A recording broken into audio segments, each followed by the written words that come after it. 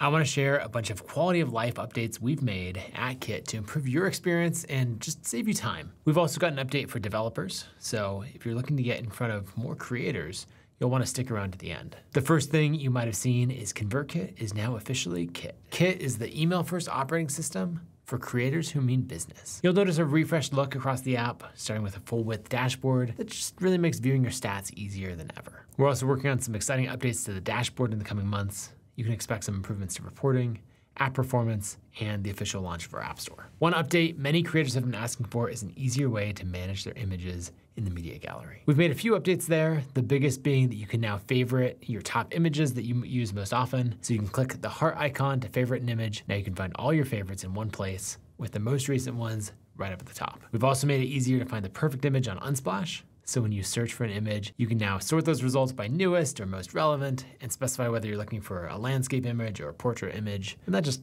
makes it easier to find the right image. In another update that many of you have been requesting is you can now edit email broadcasts without unscheduling them. So when viewing your broadcast, just click edit to make any of the changes you need and then click continue and you'll see all the previous details are the same. It just means you don't have to reschedule your broadcast. It's already ready to go. And speaking of broadcasts, we also rolled out an update with A-B testing for subject lines. We heard you say you sometimes didn't want to wait four hours for a test to complete before the winning subject line gets sent out. So you can now control the duration of your tests. So anywhere from 30 minutes up to four hours just in those half hour increments. The flexibility lets you find the perfect balance between gathering insights and sending emails at the right time. Once a winning subject line is identified, it's automatically sent to the remaining recipients on your list.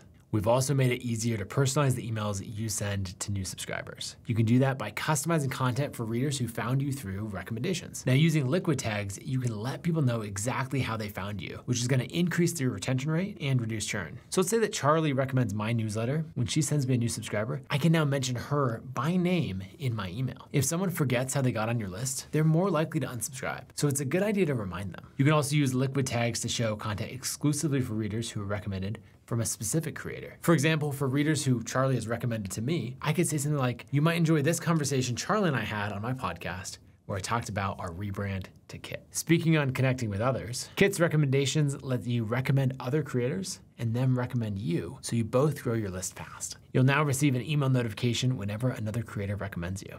And this makes it easier to discover new creators and recommend them back. We've also added some more customization options to your creator profile. There's now an advanced CSS capabilities, so with over 60 classes available, you can fine tune your site's design, update specific pages, customize sign-up forms, and more. This gives you the ability to just customize your creator profile to make it truly your own. And for those of you using advertising platforms, we've expanded our advanced tracking. So now in the advanced settings, you can turn on our email hash feature, and this is what we've already done to integrate with Raptive and now it integrates with Grow by Mediavine as well. This is just a one-click solution to help address the challenges of third-party cookie deprecation and how that was driving just lower ad revenue for a lot of content creators. So this is going to both increase your revenue and save you time. Another quality of life improvement that's been standardized across all email and template editors is autosave. As you're drafting an email or editing a template, your work is autosaved, so you just never lose your progress. You've been able to add top links to your creator profile, but now you can do so in your general settings so they're automatically pulled into your in-network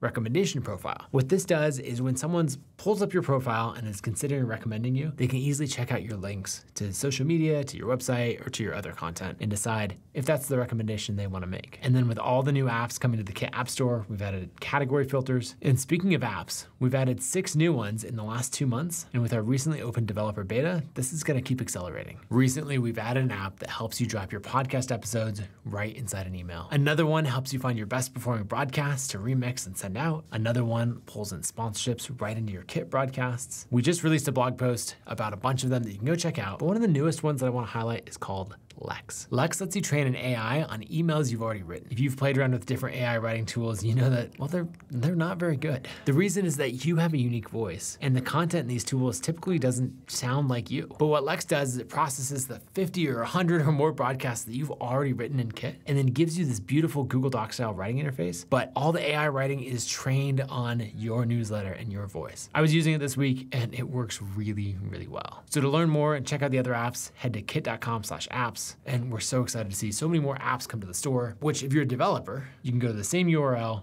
to start building your own apps for Kit today. And this is going to be a huge opportunity. And it's why we've launched Kit for Developers in open beta. This self-serve app developer platform with our new version 4 API allows you to create custom apps that can manage subscribers, track purchases, create plugins for the email editor, and much more. If you can think it, you can build it. For 600,000 creators on Kit. We're constantly working to make Kit the best tool to power your creator business. So which one of these updates are you most excited about? What other updates do you want to see? Let me know in the comments below, and thanks so much for being part of the Kit community.